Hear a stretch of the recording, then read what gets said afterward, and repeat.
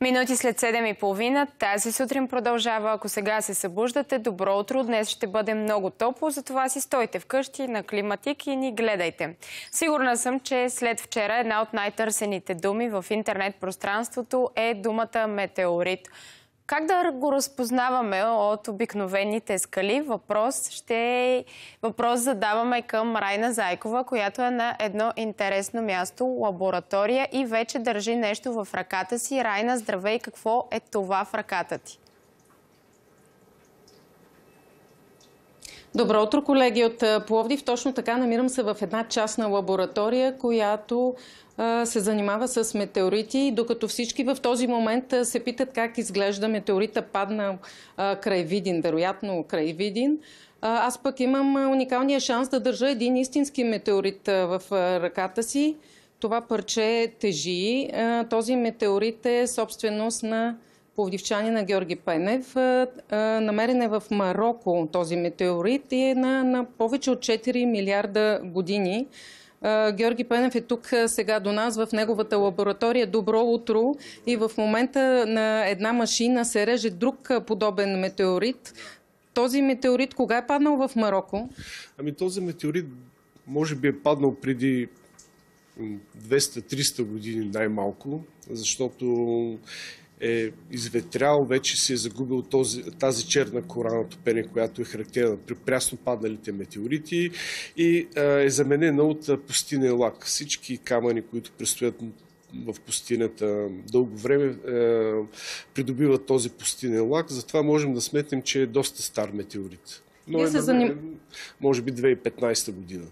Вие се занимавате с рязане на метеорити. Да покажем как работи тази машина. Тези метеорити ви ги доставят клиенти от целия свят. Режете ги защо, с каква цел? Ами ние ги режем, в това сме се специализирали и после клиенти, като ни изпратят метеорит, те също са търговци, ние ги нарязваме на филийки и после преполираме ги и те ги препродават на, на колекционери. Това ни е... Сега този метеорит, който режете, откъде е? Този метеорит е най-вероятно от северо-западна Африка. Марокко може да е намерен в Западна Сахара, може да е намерен в Алжир. Нали, не знаем точно къде е намерен, но някъде в този регион. Как човек да разпознае един метеорит от един обикновен камък на улицата?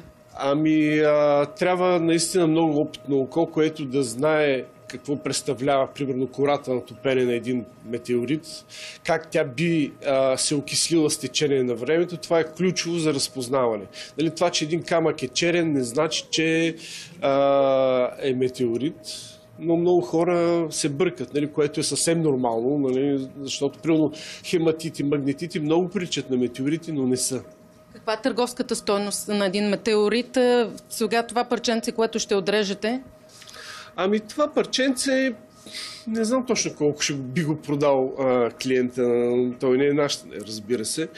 А, но, примерно за такъв тип а, метеорит L3 или LL3, цената би варила между 3 и 5 евро на грам. Но, оп, ето. Готово. Отряза се вече. Да. Ето какво представлява един метеорит тип LL или L, защото не знаем точно кой е. Тук се виждат тези малки хондрули, които са с най-близък състав до състава на Слънцето, нали, като махнем леките елементи, като газовете, защото точно този тип метеорит се е образува малко след образуването на Слънцето. Значи това е остатъчният материал, след образуването на Слънцето, някъде, някъде около 5% са образували така наречени, които днес ги наричаме астероиди, астероиди. И този представител точно е от точно този тип, които са се формирали. Тук ясно се лечат хондрулите. Това ще рече, че той не е претърпял някакви а, големи нагрявания и е ценен от, много колекционери. Сега този метеорит, да, отивам, да отидам, там има една табличка с други отрязани парченца. Този метеорит, който падна край а, Видин, а, предполагам всички го търсят, ще има ли висока цена и как би изглеждал? Ами той, що ме паднал при два дена, би изглеждал доста свежа кора на топене, черна като като катран, може би. Може би ще... Ние говорим, ще помоля оператора Бождар Дойчев да покаже ето тези таблички. Тук има други нарязани метеорити. Да. И, а, аз мисля, че кората ще му бъде напукана като на, на, на яйце, на сварено яйце, както искам, когато го обелваме, как кората се напуква. Това се, това, тя е напукана, защото примерно там на 10 км над повърхността той рязко се охлажда. Нали, той е бил първо загрян, като не влиза в атмосферата. След това има едно рязко охлаждане и, и това причинява тази напукана кора като на яйце. И може би... Как ли минае? Може ли да предположите от това, че с такава ярка светлина се движи да. и се чува този взрив? Сгоряла е голяма част от него, но със сигурност аз съм убеден, че има и отломки, които са оцеляли и са докоснали земята.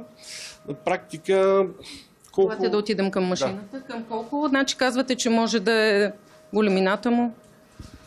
Ами, те ще бъдат фрагменти, няма да бъде цял метеорит, нали? По, така си мисля колко ще бъде голям, може би основната маса би била някъде, да речем, около 5-6-10 кг. Това много зависи от състава на метеорита, от ъгъла на, на падане, от скоростта, в която навлиза. Нали? Това определя и колко той ще изгори в атмосферата и колко би оцеляло и ще бъде, казвате, със сигурност много ценен. Ами да, това е наблюдавано, наблюдавано падане. Всички колекционери, колекционери мечтаят за такова наблюдавано падане. Да имат метеорит от такова падане, защото е драматично, защото е интересно, защото поражда емоции във всички, които са го видели. И такива метеорити биха стрували 10 пъти повече от същия тип метеорит, който е намерен без някой да го е видял, просто намерен да рече в Марокко или в Алжир. Да. Добре. Отделно, отделно, ако падне в България, това ще бъде 8 офици... метеорит, който 8 официален метеорит, защото той би трябвало да се класифицира най-вероятно. И това също, също е, му вдига цената, защото все пак има 7 официално регистрирани метеорити. Този, ако бъде 8, много колекционери биха го желали. Добре, благодаря ви. В търсене на метеорита, който падна край Видин, ви показахме пък как изглежда един метеорит, намерен не в България, но пък в Марокко. Интересно прозвуча, поне е за мен. Ако някой намери този метеорит а, край Видин, със сигурност стоеността му ще е много висока. Райна, благодарим ти успех на тези, които вече са тръгнали да търсят парченцата от метеорита, който падна вчера. А сега една тема, за която ви разказахме и вчера в BTV новините. Хакер е публикувал лични данни, за които твърди, че са на клиенти на Лефинс. Тази информация идва от изданието Капитал. От застрахователната компания отричат да има такъв теч на данни. Има ли теч? Ще разберем сега от Явро Колев, който е директор на отдел киберсигурност в застрахователното дружество. Здравейте, господин Колев. Добре дошли. Здравейте. Да отговорим на въпроса. Има ли теч на лични данни на ваши клиенти или няма теч? Няма теч на лични данни. Категорично мога да заявя а, нивото на киберсигурност на информационната инфраструктура на застрахователна компания Лефис е на особено високо ниво. Преди три седмици приключи одит на Pricewaterhouse и Cooper Израел, една от водещите компании в областта на киберсигурността. И в доклада се сочи, че нивото на киберсигурност на Лефис е много високо. Добре де, обаче има едни списъци, разпространени до медии. Капитал казват, че също имат този списък, където има трите имена на кирилица, на латинеца, телефонни номера, адреси, номер на лична карта на над 2 милиона души. Какви са тези имена? Измислени ли са? Не, това не са измислени имена. Такива бази данни циркулират в тъмната мрежа в огромни количества. Знаете, през годините, че бяха атакувани търговския регистр. 2019 година лично съм се занимавал с разследването на, на кражбата на данни от НАП, където изтекаха данните, където бяха откраднати. Аз не, не поддържам тази, този термин изтичане на данни, защото това не е кофа да изтече. Просто се крадат откраднатите данни на 5 милиона и половина български граждани. Така че такива бази данни има изключително много. Тук в тази а, база, която е публикувана, мога да кажа само, че се съдържат данни, които ние дори не събираме. Кои, Застрахователната компания Лефинс не събира номера на лични карти uh-huh. и на клиенти. И това не е само нашата компания. Няма застрахователна компания в България, която да събира подобна информация. И тук, както се казва, малко е пресолена манджата, за да изглежда по-достоверна. този хакер, така наречения Емил Кюлев, извършва един акт на отмъщение.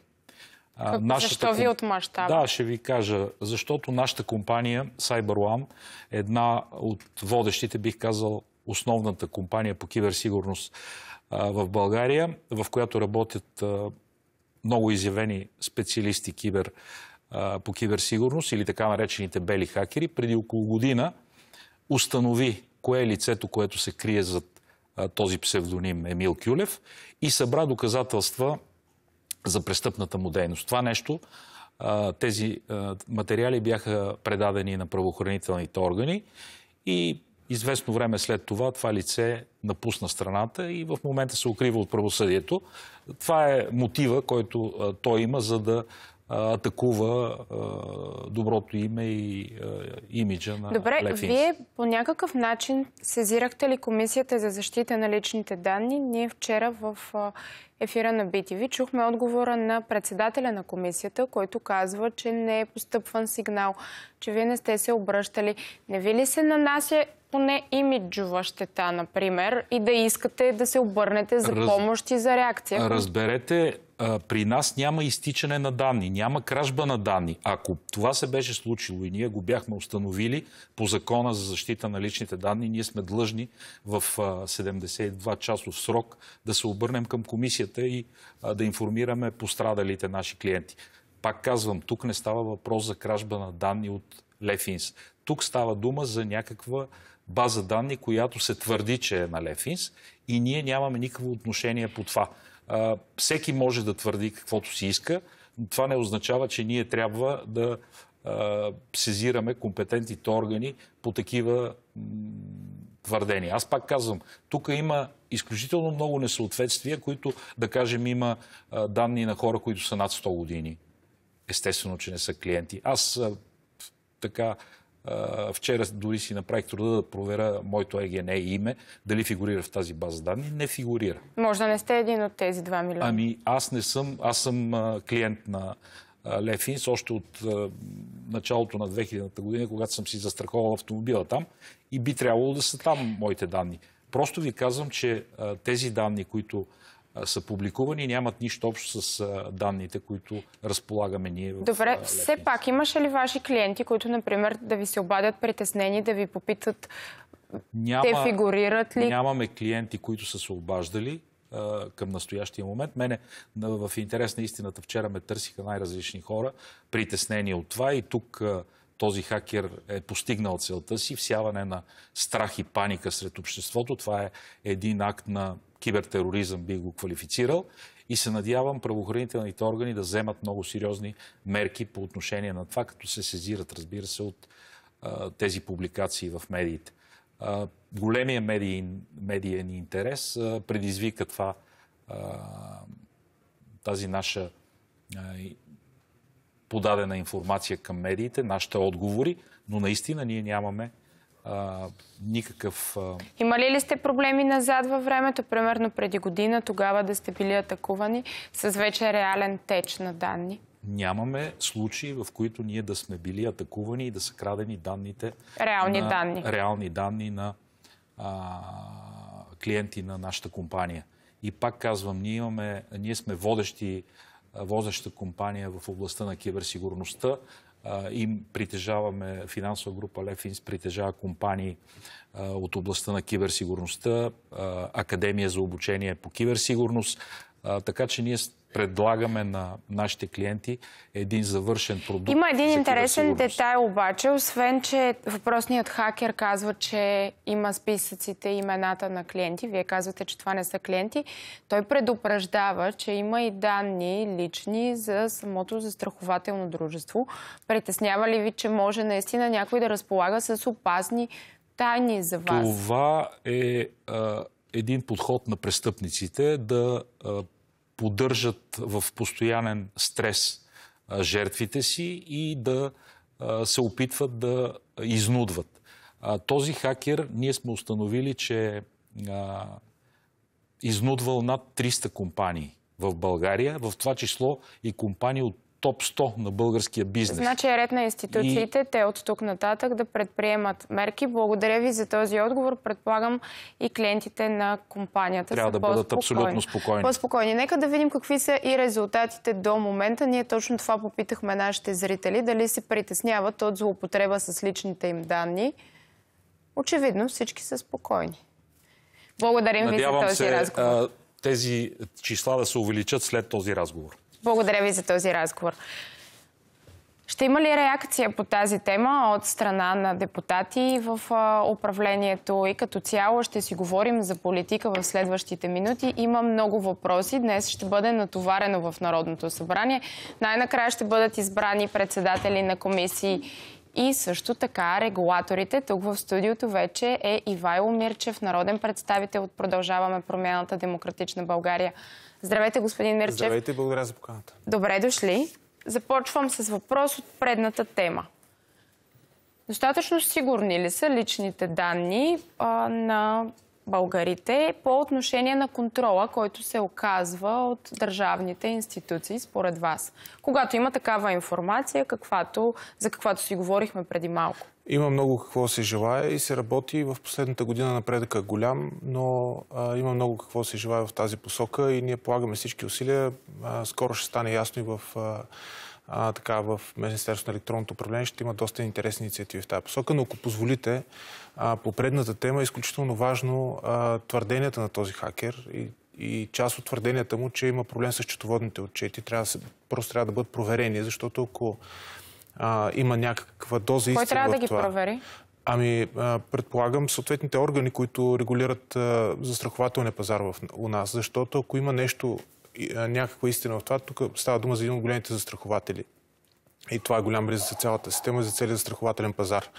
А, така че трябва да се отнасяме сериозно към, а, подобни, а, към подобни сигнали. Добре, благодаря ви да преминем към горещите теми за диалога между партньорите в управлението. Разбрахте ли се с ГЕРБ СДС вече за регулаторите?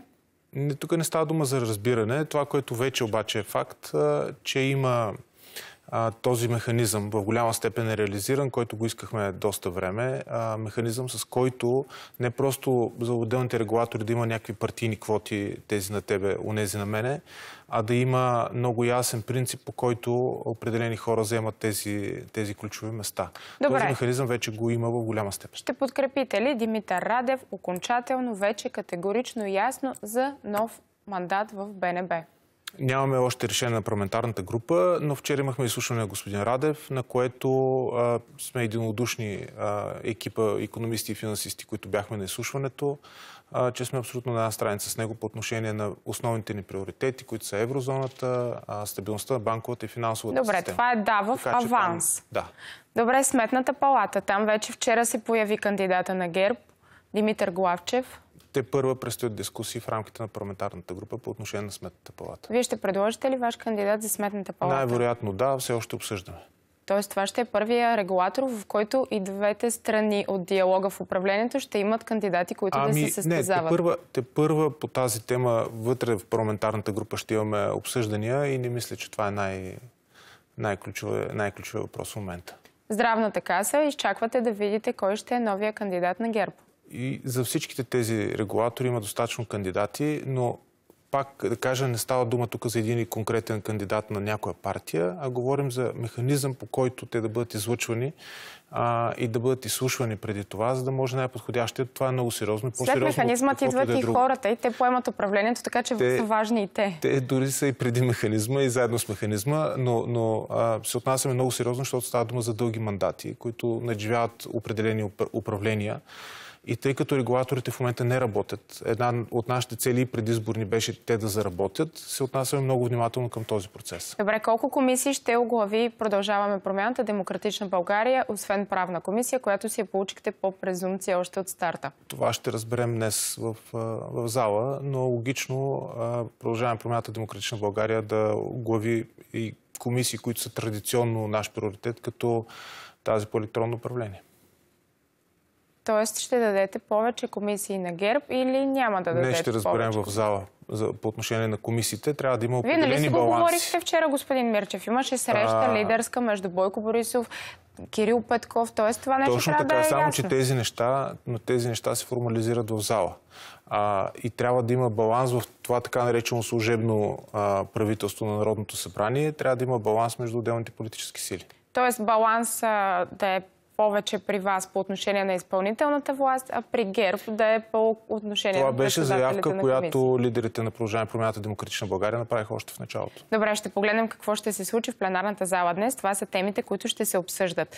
Сега, вие сте члени на Комисията по енергетика и на Комисията по отбрана. Двете ключови теми, които бяха на фокус по време на посещението на украинския президент Володимир Зеленски в страната ни миналата седмица. Видяхме различни настроения. На Дондуков едно беше едно настроението, на Дондуков две беше друго. Крайна сметка, ще дадем ли още и по-голяма военна помощ за Украина след разговорите на Володимир Зеленски у нас? Трябва да започнем малко по-далеч. За последните 16 месеца Украина е инвестирала в българската економика, закупувайки оръжие от България за около 5 милиарда лева. По-голямата част от това оръжие е купено по времето на управлението на служебния кабинет на господин Радев, на президента Радев, който е проверил от първо лице дали ако България ще предостави оръжие на, на Украина, ще влезе в война, тъй като това бяха едни от неговите големи страхове. И тъй като това нещо не се случи, и вече над 5 милиарда лева, а, до края на годината може да станат и 7 милиарда лева. България за сметка на това пък е страната от всички, които са изпращали до сега помощи на Украина, военно-техническа помощ, страната, която е изпратила най-малко. Тоест ние сме една от водещите като клиенти на, на, на Украина, като производители, които предоставят оръжие и боеприпаси на Украина, но самите ние като военно-техническа помощ не сме предоставили Ще почти наваксаме ли сега това с малкото помощ? Очертава се втори пакет, който а, Министерството на отбраната а, подготвя, който ще бъде сравнително малък, а, като първия пакет, който беше изпратен.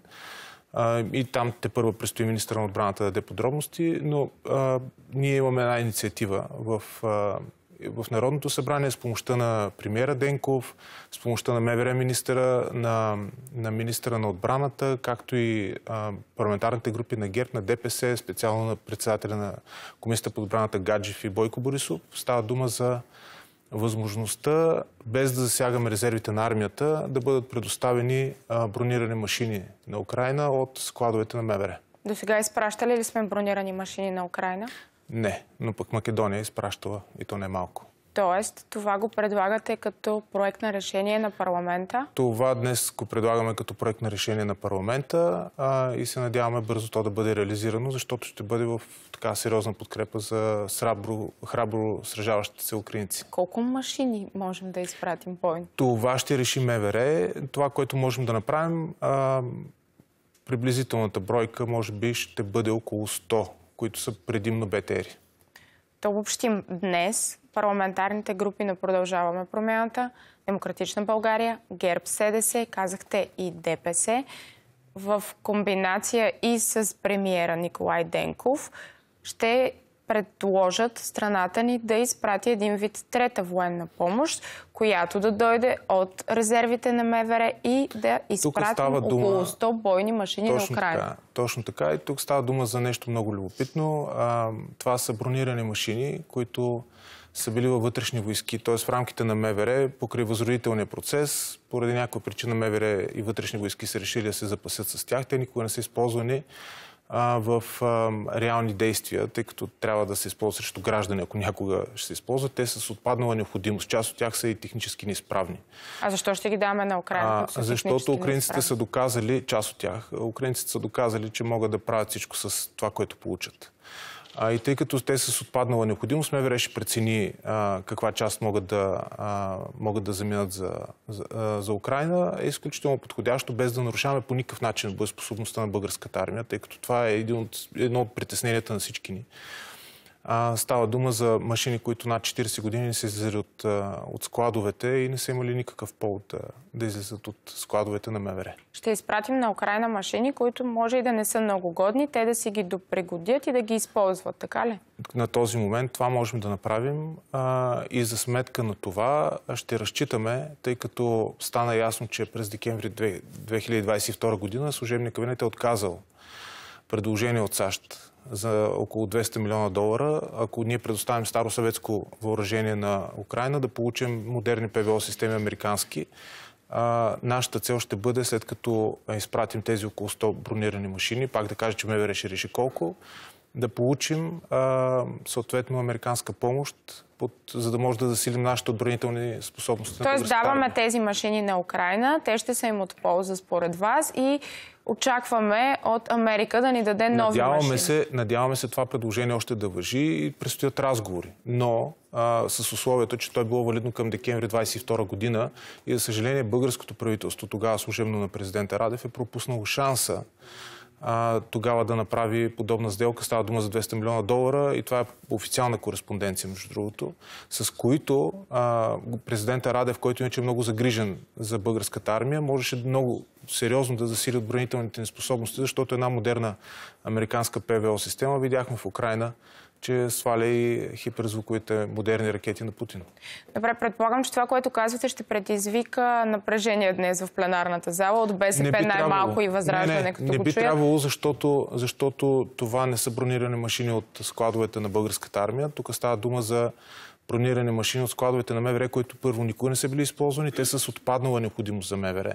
Става дума за а, бронетранспортьори, които ние никога няма да под никаква форма да използваме. Част от тях технически неизправни а, които просто можем да предоставим на Украина. А те защо не са ми нужни на Украина? Защо не сме ги изпратили година и половина по-рано на старта на войната? Защо тази идея идва сега? На старта на войната не знам. Въпросът е в последните 10-12 месеца защо не сме ги изпратили. Премиера Денко в момента, в който разбра, действаше изключително бързо. Пак да кажа, трябва да сме открити. Тук става дума за подкрепата и на ГЕРБ и на ДПС в, в парламента за реализацията на... Вие се разбирате подобно. по много въпроси напоследък. Ами не, по много въпроси не се разбираме, но това е тема, по която мислим в една посока. И е добре, защото с 63 гласа на продължаваме промяната Демократична България няма как да се изпратят стотина бронирани машини в, в Украина. Такива са фактите. Добре, ще помогнем ли на Украина, като и продадем реакторите си от ТАЕЦ Белене? Тема, която също беше повдигната през миналата седмица. Има зелена светлина за такива разговори и от страна на Народното събрание. А, не само ще помогнем на Украина, ще си решим един наш голям проблем. Белене беше един корупционен проект. И много години единствените, които имаха полза от него, бяха руското ядрено лоби в България и няколко компании, през които, между другото, имаше и сериозно руско влияние. А, така че с продажбата на реакторите, и то на, поне на цената, на която сме ги придобили, пак да кажем, ние не ги подаряваме на Украина, ги продаваме, а, България, освен че ще си възвърне част от инвестицията в, а, в този корупционен а, проект, ще го приключи веднъж за винаги и тая корупционна яма ще бъде запълнена. Пък Украина, която има почти готова ядрена централа, за разлика от Белене, която е в начален етап, ще може да, да си я довърши и да стартира работа. Преговори, които предстоят. Кратък отговор с продължаваме промяната ли ще бъдете на местните избори в битката за по-големите градове? Имате ли имена? Надяваме се да имаме един национална регистрация между Демократична България и Продължаваме промяната и вярваме, че това е наистина най-доброто за страната по начина по който успяхме да се обединим заедно с Паси София и Продължаваме промяната в, в рамките на София, да направим това и за цялата страна и да имаме единна регистрация за цяла България. Вчера обаче Бойко Борисов каза, че също е готов да говори за голямо дясно центристско управление на София. Може ли да го включите в общото обединение за надпреварата за Софийския Аз не мисля, че такива разговори са възможни и реалностите са, че ние в София се борим срещу това, което имаме като наследство в момента след това дълго управление и ще настояваме наистина да си променим града и правим всичко възможно за това. Затова направихме това голямо обединение. Нашата голяма цел е да спечелим Общинския съвет, мнозинство в Общинския съвет, за да може да не зависим от никоя друга партия и да направим правилните стъпки. Благодаря ви за тези отговори. Чухме и новина. Ще има предложение за изпращане на още военна помощ, голяма по мащаб за Украина. Решението е на Народното събрание. А сега започват новините в 8 с Мария Ванкова. Аз. Лека работа. Това са новините в 8. Аз съм Мария Ванкова. Започваме с новина от последните минути. Нова маскирана акция, масирана акция на МВР срещу каналджиите в страната. Целта е да се пресече престъпната дейност на групи лица, за които има информация, че активно участват в организирането на незаконния трафик.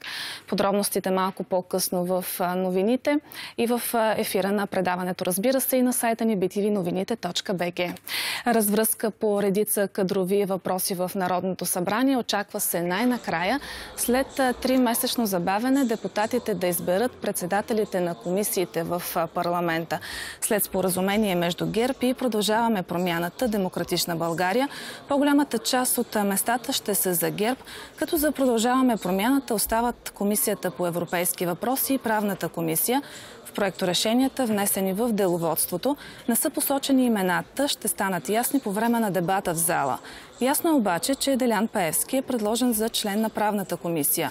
Късно с нощи партньорите във властта направиха още една крачка в посока на кадровите решения. Продължаваме промяната и Демократична България и слушаха номинираните за гуверньор на БНБ Димитър Радев и председател на Сметната палата Димитър Главчев. Ще подкрепите ли Димитър Радев окончателно, вече категорично ясно за нов мандат в БНБ? Нямаме още решение на парламентарната група, но вчера имахме изслушване на господин Радев, на което а, сме единодушни а, екипа економисти и финансисти, които бяхме на изслушването, а, че сме абсолютно на една страница с него по отношение на основните ни приоритети, които са еврозоната, а, стабилността на банковата и финансова няма теч на данни от застрахователната компания Лефинс. В това бе категоричен Явор Колев, който оглавява отдела по киберсигурност в дружеството в ефира на тази сутрин. Припомням, хакер е публикувал лични данни, за които твърди, че са на клиенти от Лефинс, съобщи изданието Капитал. Данни на над 2 милиона души са изпратени до редакцията, според медията, от хакер, използващ псевдоним псевдонима Емил Кюлев. Той твърди, че информацията е придобита след пробив в системата, а файлът съдържа имена и егенета както на настоящи, така и на бивши клиенти. Тук в тази а, база, която е публикувана, мога да кажа само, че се съдържат данни, които ние дори не събираме. Кои, Застрахователната компания Лефинс не събира номера на лични карти uh-huh. и на клиенти. И това не е само нашата компания. Няма застрахователна компания в България, която да събира подобна информация. И тук, както се казва, малко е пресолена манджата, за да изглежда по-достоверна. Този хакер, така наречения Емил Кюлев, а, извършва един акт на отмъщение. След минути пореден протест пред парламента, недоволството този път е на служители на Агенция Пътна инфраструктура, пожарникари и медици. В 8.30 часа КНСБ и част от нейните членове ще проведат демонстрацията под надслов за справедливи доходи в бюджет 2023 и защита на трудовите права на работещите. Очаква се протестиращите отново да разговарят с народни представители от различни парламентарни групи. Малко по-късно и национален Национален синдикат защита ще проведе национален протест на медиците от центровете за спешна медицинска помощ пред Народното събрание.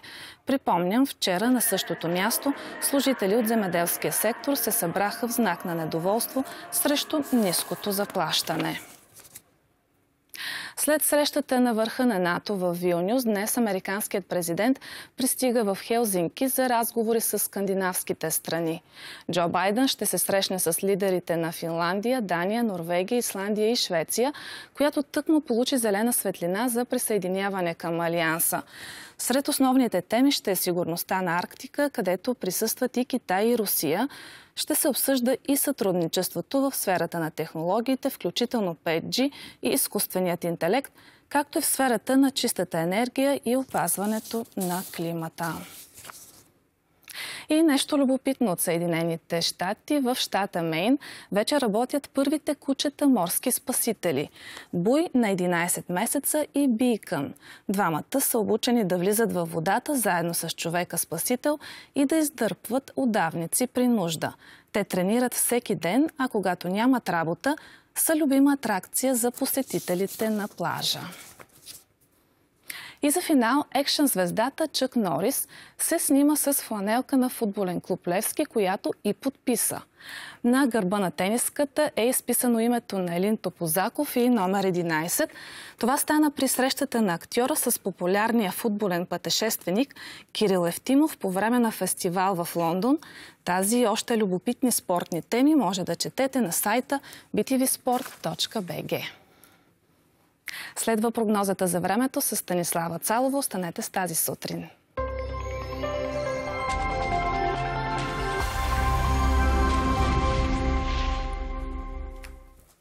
Добро утро! Планирайте днес един по-спокоен ден, защото температурите ще бъдат много високи. Добре е да се пощадите поне в днешния ден. Ще има места с температури около, а дори и над 40 градуса. Затова в цялата страна въжат и предупреждения за опасни горещини, оранжеви и жълти кодове. Днес след обед температурите вече ще бъдат между 36 и 41 градуса. Ще преобладава слънчево време. Вятърът в повечето райони ще бъде слаб от запад-югозапад. Горещо и предимно слънчево ще бъде и по морето. И в планината също ще преобладава слънчево време. Вятърът там ще се усеща повече и ще бъде предимно умерен от запад. Горещо ще остане и през следващите дни с малко по-низки температури, все пак от днешните. Утре ще се появи и вятър. Хубав ден от мен и по възможност го прекарайте в климатизирано помещение.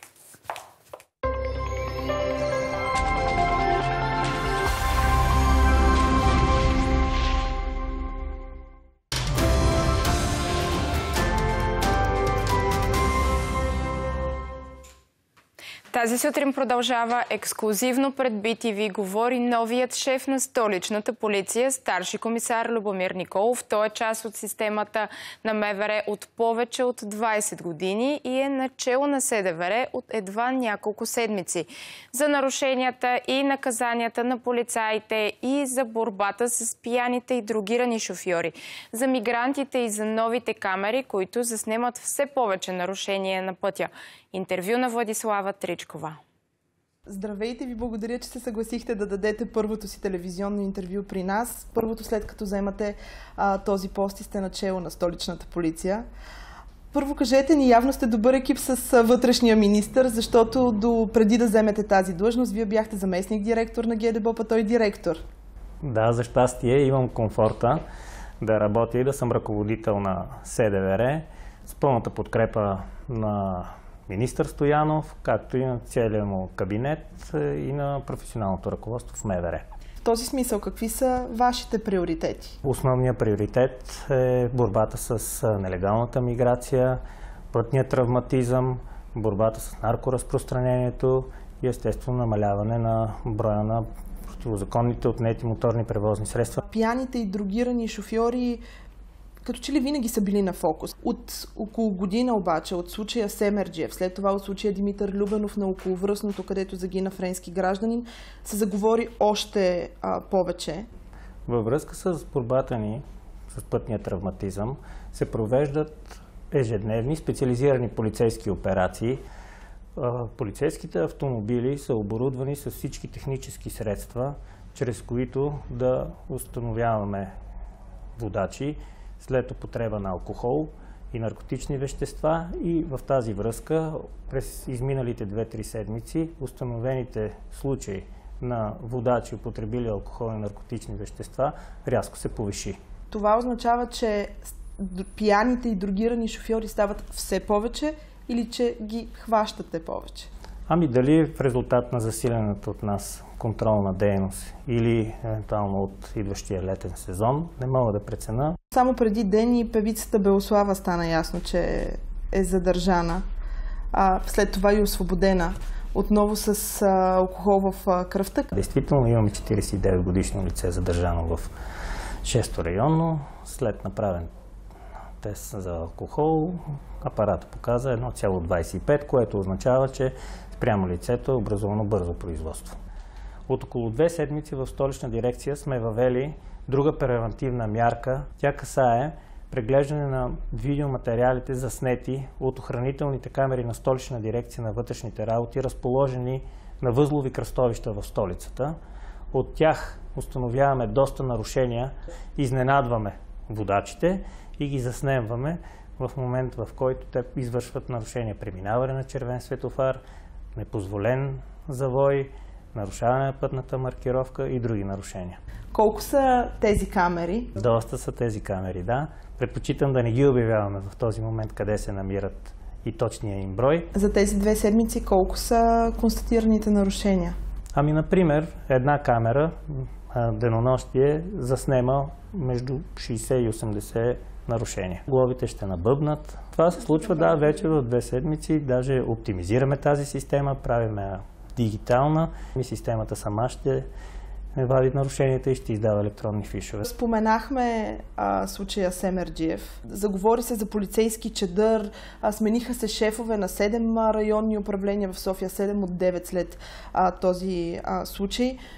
А, до вас стигали ли са сигнали да има и други такива рецидивисти на пътя? В столична дирекция е създаден сектор, който противодейства именно на такъв тип поведение на такъв тип лица. Така че в резултат на тази структурна промяна, която е извършена в столична дирекция, мисля, че умело обезпечаваме точно такъв тип контингент. През последните месеци имаше 7 смени на шефове на районни. Предвиждате ли и други такива? Правиме един анализ на дейността на всяко едно районно управление и спрямо техните резултати и спрямо това как изпълняват нашите зададени приоритети, ще прецениме дали е нужна някъде рокада. Безпринципни такива няма да се правят. А сега към един друг случай с Петю Петров Еврото. Преди може би около месец, вече малко преди вие да вземете този пост, имаше опит за задържането му в столичен ресторант. Какво се случва сега? Петю Петров е обявен за общо държавно издирване, изпълняваме указанията, издирваме лицето. Към настоящия момент нямаме данни той да се намира на територията на Република България. Тоест е някъде навън. Предполагам. Тогава към онзи момент вътрешен министр беше Иван Демерджиев. Той каза, че се проверява възможно ли е служител на МВР да е възпрепятствал задържането на Петио Петров Еврото. Не е образувана такава проверка срещу служител на СДВР. Може материали от такава подобна проверка да се намира в дирекция вътрешна сигурност или в Софийска районна прокуратура. През последните години говорим много за полицаи, които, а, за които се предполага, че помагат на различни хора. Ето този казус, случая с Емерджиев, а, случая с Димитър Любенов. Ще бъдем безкомпромисни спрямо всеки един служител, който си позволи да наруши закона или да наруши служебните си задължения. В момента получавате ли сигнали за полицаи, които по един или друг начин покровителстват някой? Не, за покровителство нямаме такива сигнали. Получаваме други сигнали, които касаят по-скоро дисциплинарната практика на служителите в МВР. Какво означава това?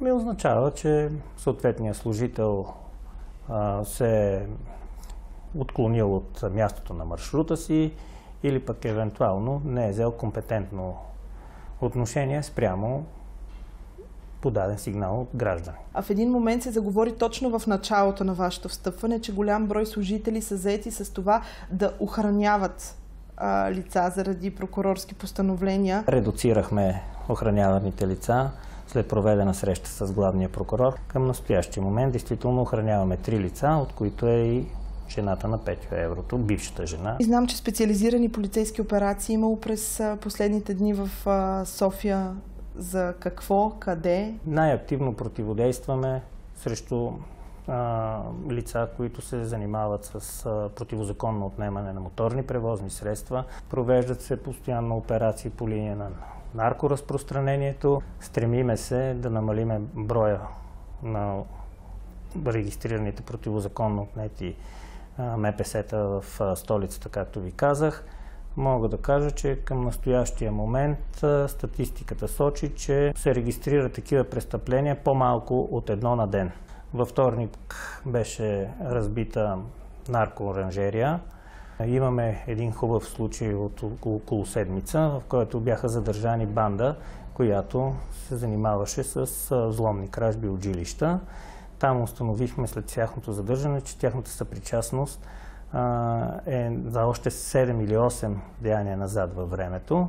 В вторник също задържахме и двама извършители на противозаконно отнемане на автомобил. Има ли е малко ситуацията ние ги хващаме, вие ги пускате? Понеже, особено когато говорим за автомобили, а, знаем едни прякори, сещам се за лавицата, например, бабичката, а, известни все мъже, за които се знае, предполага се, били са задържани, били са с обвинения за кражби на автомобили, но след това са на свобода, до следващото задържане и после отново и отново.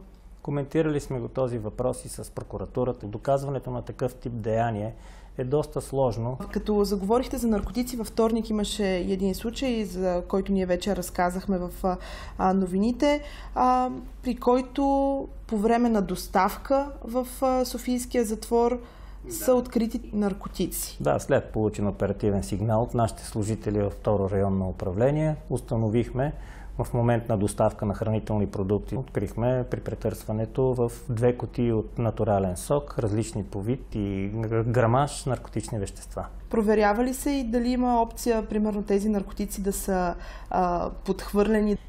Ами, нямаме такава подробна информация. Ще проверим всички обстоятелства около този случай. Последната седмица почти всеки ден в София са залавяни групи с мигранти. Има ли много сигнали? Сигналите са, се получават доста често, най-вече от граждани, през нашите дежурни части, но много често, когато осъществяваме превенция, както казах по пътния травматизъм, установяваме нелегални мигранти, които са превозвани в моторни превозни средства, управлявани от чужди граждани предимно. Имат ли еднакъв маршрут, по който да се движат? Може да се каже по принцип, че района на столицата играе малко ролята на гара разпределителна. Има изградени канали на придвижване, но те често се менят, тъй като и те виждат, че ние активно противодействаме, анализираме техните маршрути. Тук е мястото да кажа, че Имаме около 10% недокомплект на униформените служители в районното управление. В тази връзка постоянно обявяваме конкурси. Има ли желаящи? Има желаящи, да. Едно от нещата, които най-вероятно най-много може да ги мотивира са парите. Знаете, че сега в събота се подготвя национален протест от синдиката на служителите на МВР. Имаше два такива, които бяха предупредителни. Искат увеличение на заплатите с 10%. Да. Вие подкрепяте ли ги? Напълно подкрепям колегите. Аз съм един от тях, разбира се. Мисля, че техните искания са напълно реални. 10% върху заплатата на един служител от МВР не е огромна сума. Това са някакъв порядъка на 150-160 лева, с които съответният служител няма да забогате, ами просто ще му помогнат да си покрие ежедневните разходи.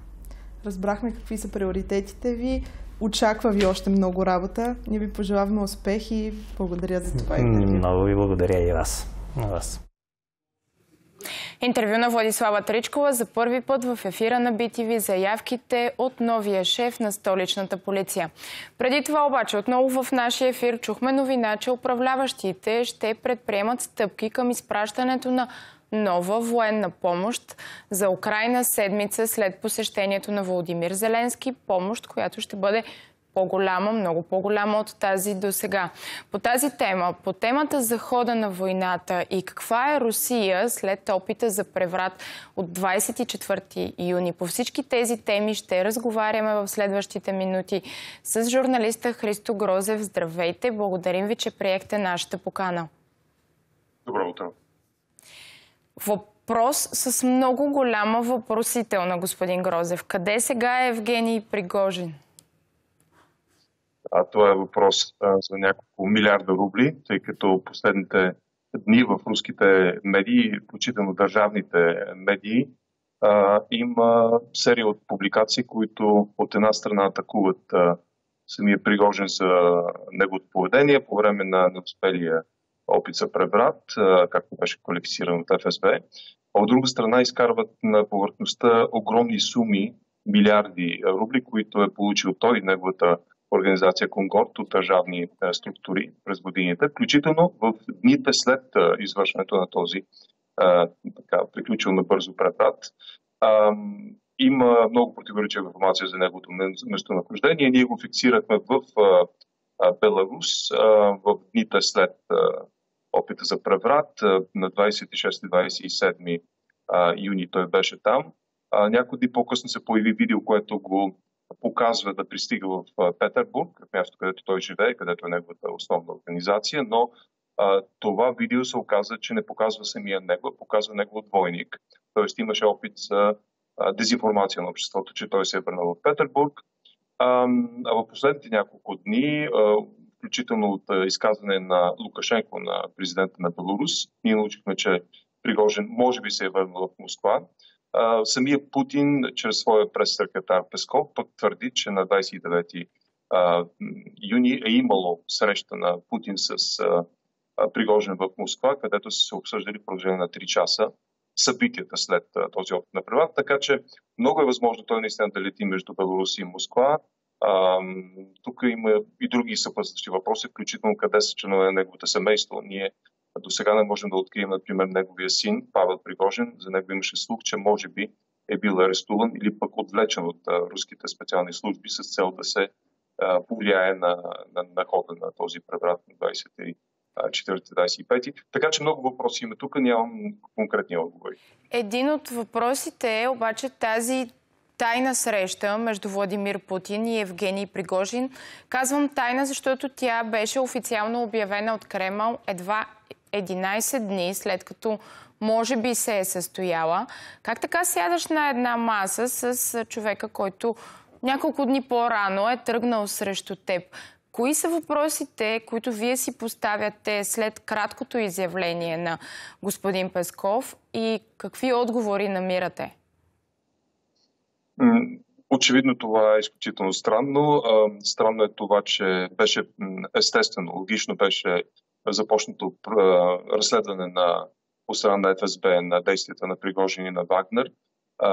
То беше квалифицирано като опит за държавен преврат.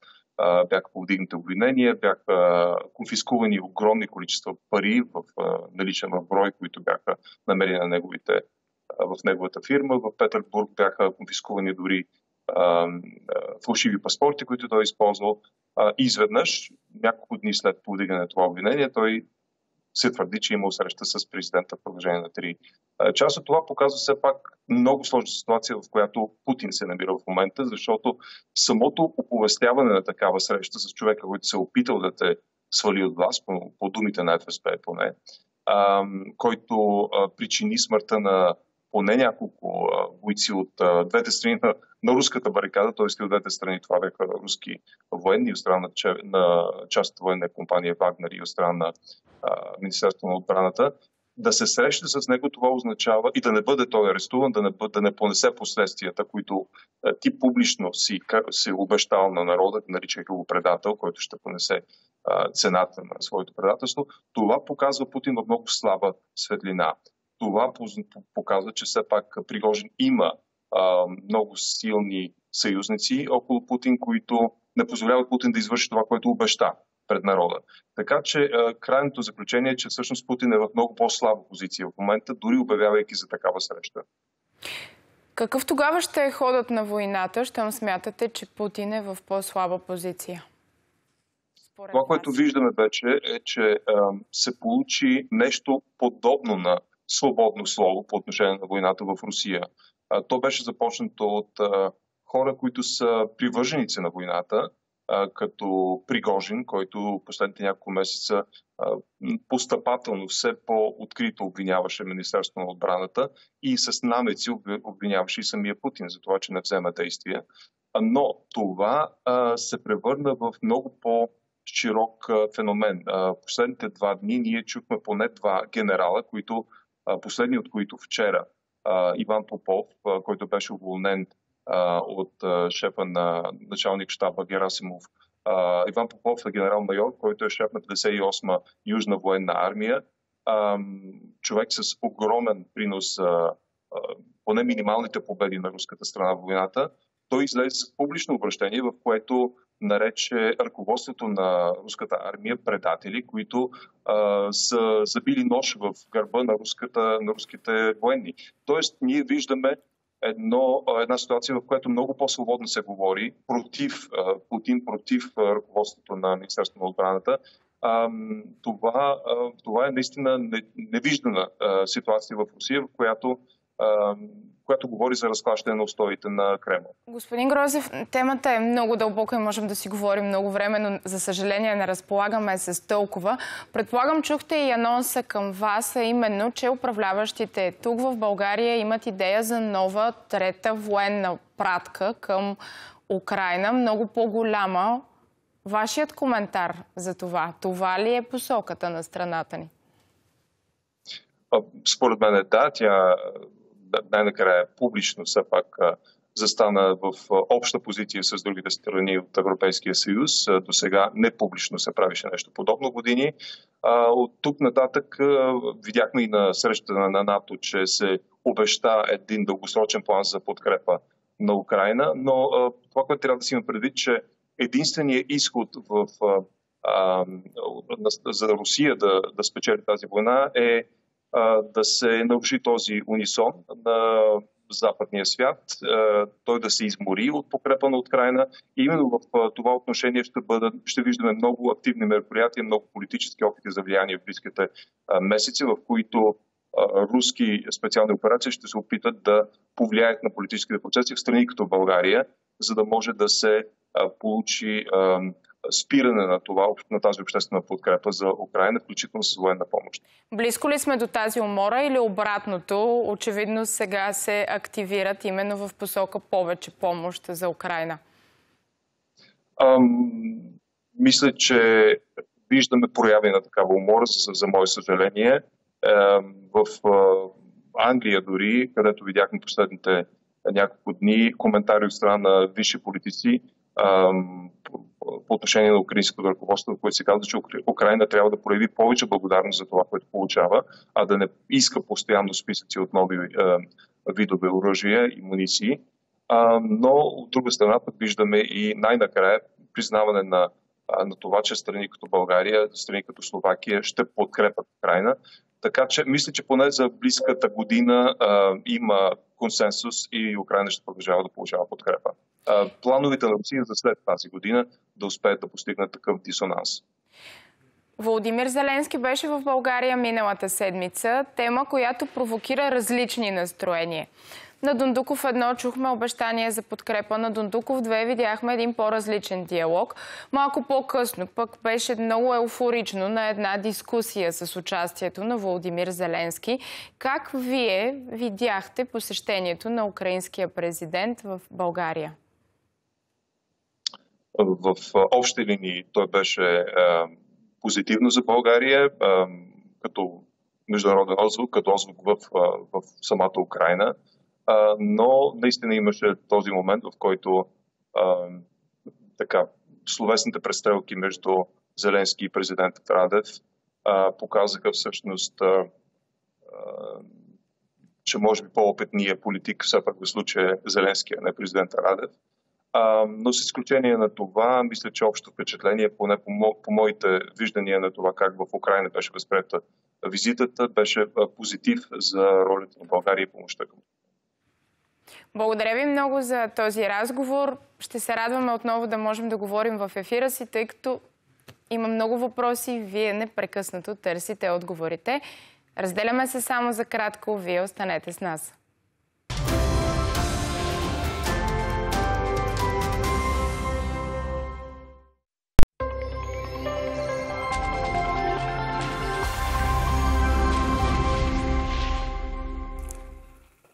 Здравейте!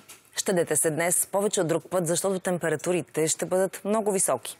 Ще има места със стойности около дори над 40 градуса в цялата страна. Има предупреждения за опасни горещини, оранжеви и жълти кодове. След обед температурите ще се повишат до 36-41 градуса. Ще преобладава слънчево време. Горещо ще остане и през следващите дни. Но утре поне ще се появи вятър. Днес се опитайте да прекарате поне няколко часа в климатизирано помещение. Хубав ден!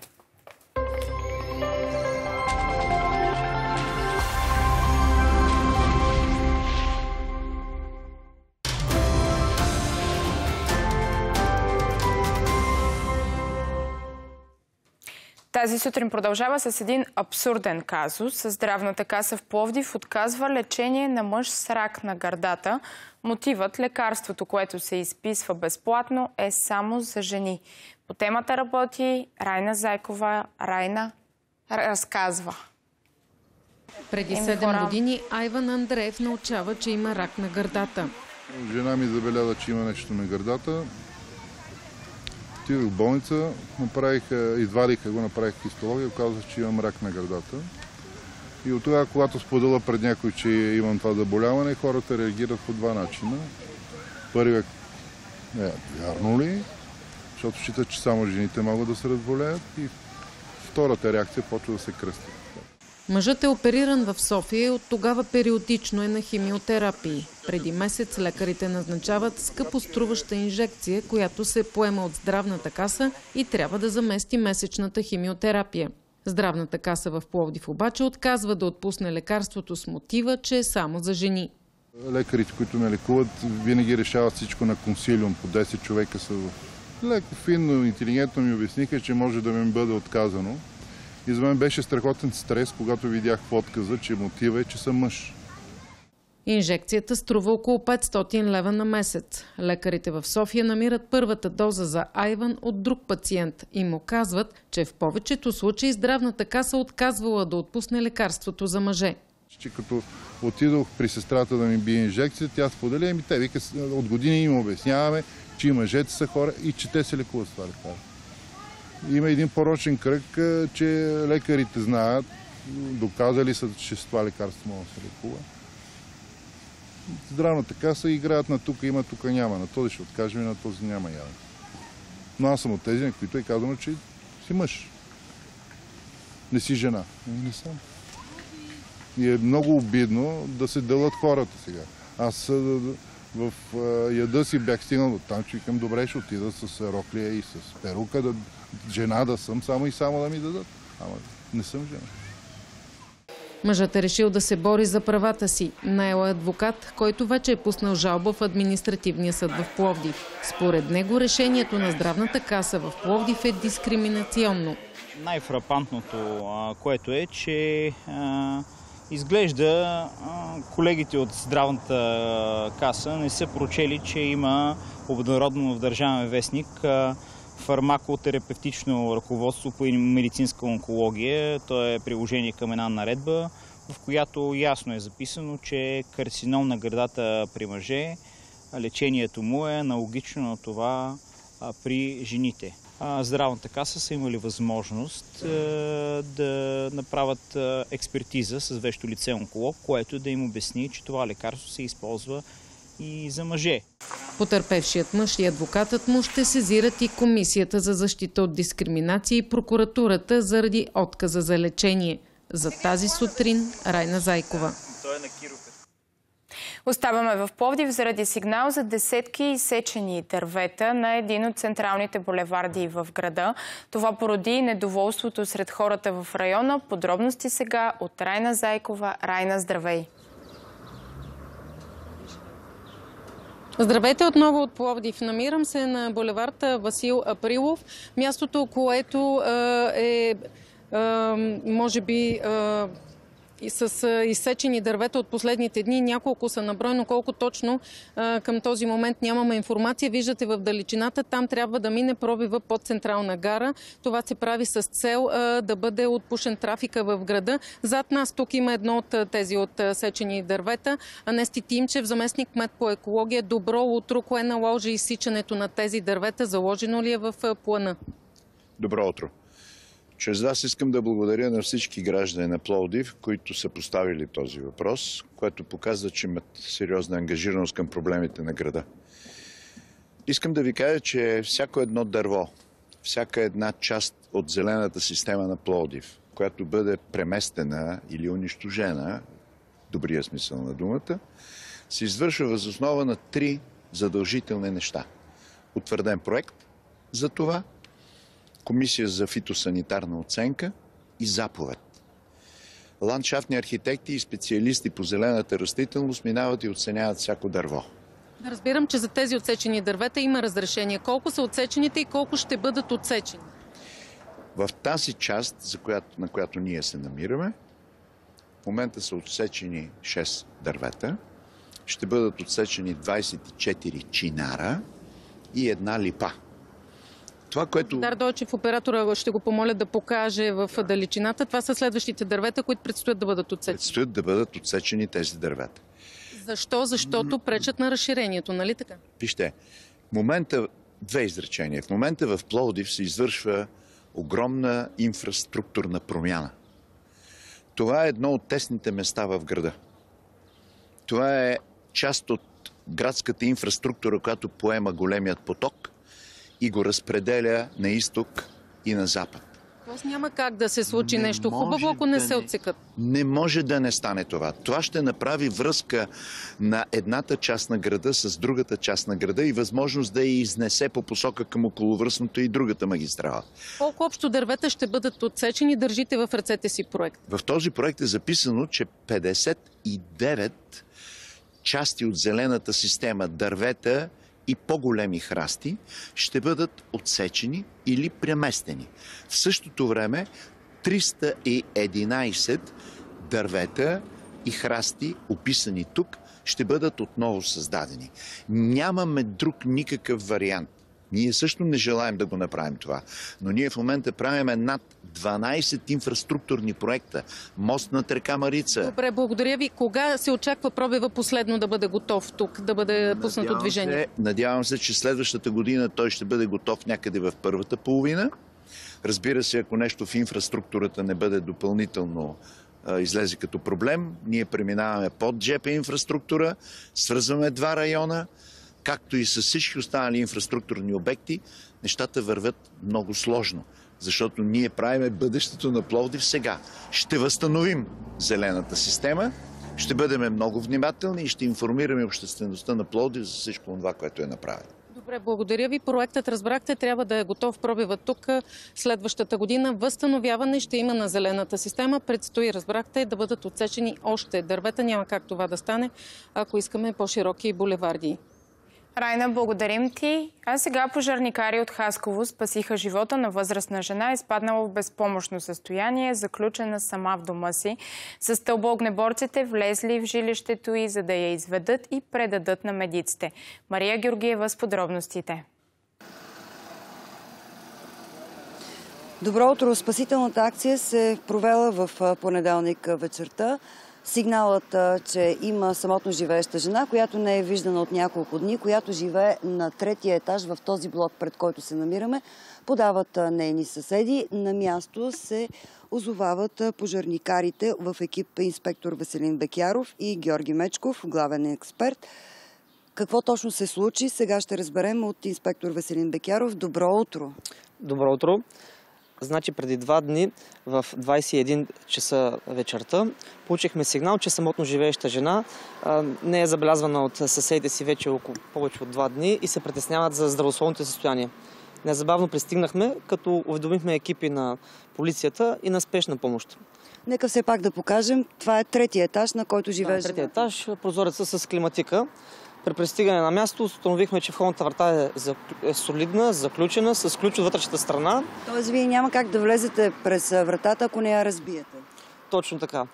И съответно, за да няма щети, колегата забеляза, че прозорецът на третия етаж е отворен и решихме да използваме тази автомеханична стълба, за да влезнем. В момента, в който се влезнахме през прозореца, забелязах, че жената е на пода, безпомощно състояние, но жива. Незабавно отидох и отворих входната врата, тъй като вече пред нея ме чакаха екипите на полицията и на спешна помощ.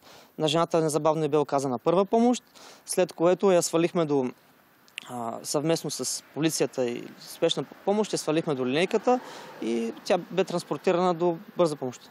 За първи път ли ви се налага да участвате в такава спасителна акция, да спасявате човек, като използвате стълба, за да видите изобщо дали той е жи- жив? За съжаление не. Тази година определено и зачастяват тези случаи. От началото на годината имаме около 5 или 6 сигнала, които сме отреагирали. И другото, което мога да кажа, че за наше голямо щастие, тук жената беше жива. Сега, нека да кажем, че тя е била самотно живееща а, жена. Тези случаи, каза и колегата ви, че зачестяват. Тази стълба често ли я използвате, за да влизате през прозорец и да установявате въобще дали има вътре човек и дали той е жив? Да, използваме я. Благодарение на модерната стълба, с която разполагаме, имаме възможност до 10 етаж да проникваме в жилища. Тя е 30 метра. Тя е 30 метра, като има модерно управление от самия кош, можем да се приближаваме много фино до самия прозорец. Също разполага и с сухотръбие, така че при гасене на пожари е изключително удобна, тъй като по нея се подава вода и чрез лафетен струник гасиме жилището. В случая ви се е наложило не да гасите жилището, а да спасявате Разбира се, да. Казвам общо за самата автомеханична стълба, но в случая използвахме за спасяване на човешки живот. Благодаря ви много. Нека да кажем, че 54 годишната жена е настанена в Хасковската болница. Към момента диагнозата й е бъбрична недостатъчност. Дано жената да оцелее. Това само можем да кажем.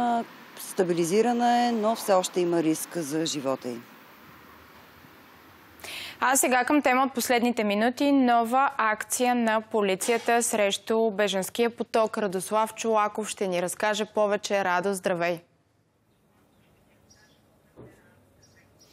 Здравейте! Акцията е насочена към хората, които пряко са замесени в каналджийството и има, така да се каже, изпреварващ ефект. Тоест, полицията вече не чака каналджиите да, да вкарат иммигранти в страната ни, а ги задържа изпреварващо. Целта е да се пресече тяхната дейност още в зародиш. Акцията е, така да се каже, серийна, т.е. от миналата седмица продължава. Тогава също имаше, спомняте си, показахме ми акции и с различни места на, на столицата.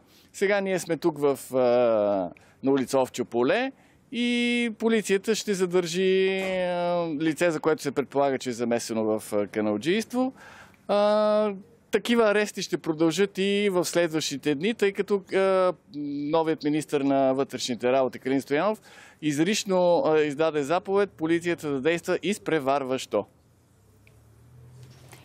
Радо, един човек ли ще бъде задържан? Виждаме операторът ти показва двама души зад оградата. Еми, по, пред, е, по предварителна информация един човек. Е, полицията не разкрива повече подробности, освен това, че се, така да се каже, е започнал активно да се бори с това явление. Добре, благодарим ти. Ще проследим темата и в емисиите новини. И ако има развитие до края на предаването, също ще ви го покажем. Разделяме се. Само за кратко останете с нас.